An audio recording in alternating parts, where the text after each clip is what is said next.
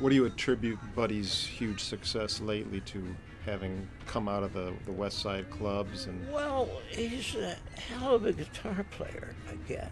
I, I, when I'm listening to blues, I listen to singing. But he's a good guitar player.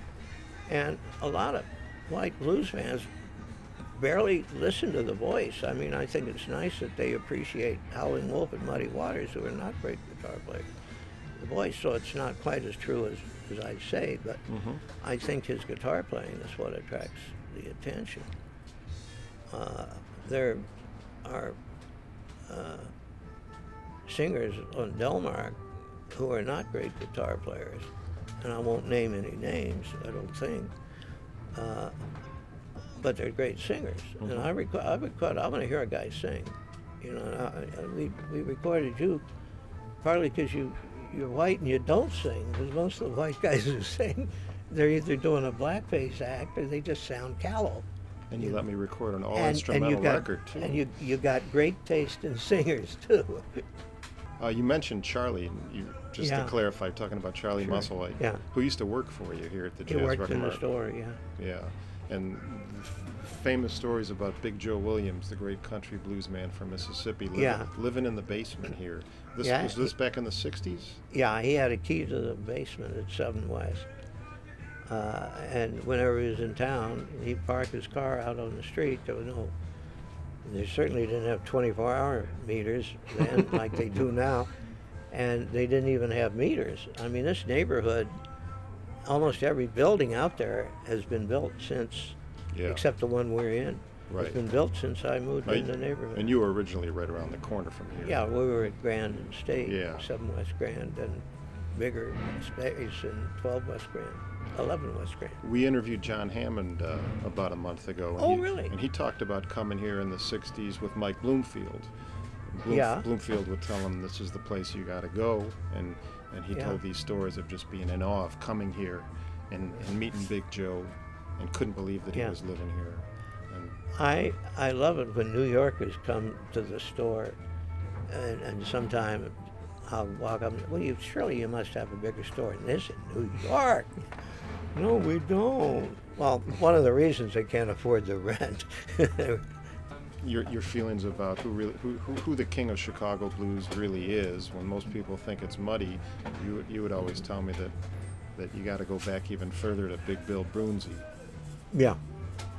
Could you talk a little bit? I don't, I'm not about sure we Big have a king. Right. uh, I'm, you know, just picking one guy to lead. And It's true about BB, isn't it? But uh, yeah, Broonzy is the forgotten man. I mean, he's given some credit because he he caught the White Eyes with his records on Folkways. Uh, but Bill Broonzy was a tremendous songwriter. I mean, if you get a record by Jazz Gillum or Washboard Sam, and it's credited to Gillum or Sam, it's almost certain. It, I, I would say it's dead. It's definitely certain to have been written by Broonzy. They were relations of some sort, and and he'd write a song. He gave "Key to the Highway" to Jazz Gillum. Then he took it back when he recorded it a year or two later. Uh, and Key to the Highway is a classic. I mean, you probably still do it once in a while. Sure. Yeah. But he wrote an awful lot of others. There are other songwriters who don't get the credit they deserve as songwriters. And another one is Roosevelt Sykes. He wrote Driving Wheel in the 30s. Nighttime is the right time, just to name a, a, a, few. Mhm. And he didn't write 44 Blues, which was his big hit. He, he never claimed to write that. He said, oh, I got that from Lee Green, and I got that from some three or four other piano players. Put them together. He did a recording of Sweet Home Chicago and added one of the commonly heard verses when he recorded for Imperial in 1951. But he's a piano player, so nobody knows about him. Yeah. Everybody wants to hear a guitar player. I think it's kind of sad. I'm glad there's at least one piano player who's making it. Pine Top. Yeah. Um, in addition to talking about Big Joe, some of the other great country bluesmen you recorded include Sleepy John Estes, Big Boy Crudup, Yeah. and uh, I wanted to mention one more. Sleepy John, Well, it didn't do that many country guys. Uh, in fact, we still haven't issued a record by, I don't think we have, uh, a guy who's kind of like Dr. What's his name in New Orleans? Dr. John? No, Dr. John? Dr. John in New Orleans? No, no, no. Uh, De- I'm sorry, a Detroit guy, Oh, Dr. something. And this guy is very much like him. He plays washboard and guitar. We did a record years ago on spec, and I've had trouble finding him or his the guy who promoted the deal so we could issue it. hmm And I forget his name. So that's not much help, is it? There, you got the, you got it all. You got all the facts right there. Everything I know about the guy. When when when tourists come into your store, new customers who are looking to, to get hip to more blues, and they ask you for advice, give us an idea of what you what you tell them to check out, what records you tell them to listen to. Well, I, I, I like to get them into that pre-war stuff. If they're really interested in the whole story of blues, a lot of guys uh, uh, sort of follow an unwritten rule that Blind Lemon Jefferson came to Chicago and taught Muddy Waters how to play guitar or something. You know, something. They they skipped that whole period of the 30s, and I think I have to blame Sam Charters for that because he he dismissed the whole 30s period in a chapter called Bluebird Blues in his wonderful book, otherwise wonderful book, Country Blues.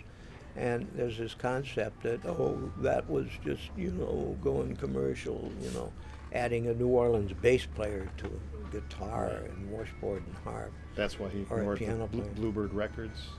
Yeah, well, he calls it the Bluebird Sound, but the same guy, Lester Melrose, was was producing, directing the uh, Vocalion and OKeh and Columbia Records.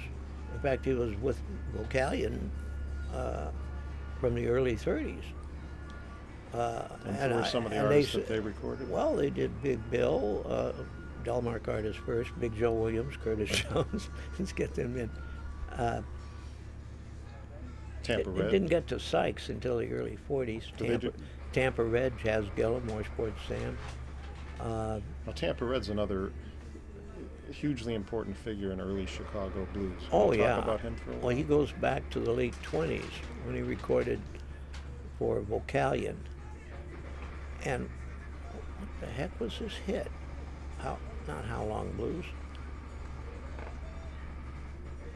I he- know. I know he did let me play with your poodle. Well, yeah, that was later. uh, but Tampa is a unique guitar player. I don't think anybody else sounds at all like him. I, nobody Yeah. I've heard. Huge slide influence and and, and one of the reasons that he did a lot of records, he was a good songwriter too. Right. I mean, Lester Melrose, who did the uh, Bluebirds and the OKehs and the Vocalions, the Columbias and the Victors, was a music publisher. He was interested in artists who wrote songs. Mayo Williams at Decca had been a music publisher, but he wasn't allowed to publish the stuff that Decca artists did. So he'd buy the artist's share. So he was interested in guys who wrote songs. And there are probably some really great blues artists who never got recorded because they didn't write songs. And I think Mhm. that's pathetic, but I think that's possibly, probably the case. Uh, but all three labels, and there were only three companies then doing blues, there were only three major companies, uh, had a steady stream of blues records coming out. Uh, and gospel. Who was buying blues records in the 30s and 40s? Well, not very many white people, I guarantee you that. Yeah. There was one guy in Evanston, we bought his record collection. We had to write a second check when we, because it was already, everything was packed up. We just sort of spot checked it. This is a white guy in Evanston who apparently was buying blues records from 1938 on. It was a great collection. We had to write a second check to the estate. Uh, actually, they thought some 10-inch LPs were 78s, and they were. His taste was into Prestige and Blue Notes, Mhm. so it was a third check when we found those. Uh, but generally, it was, of course, black people. They were called race records until the mid 40s.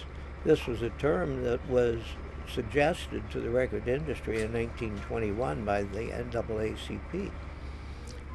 after World War II, they thought the word race had become, as I've heard it be in, in some stories, uh, a put down.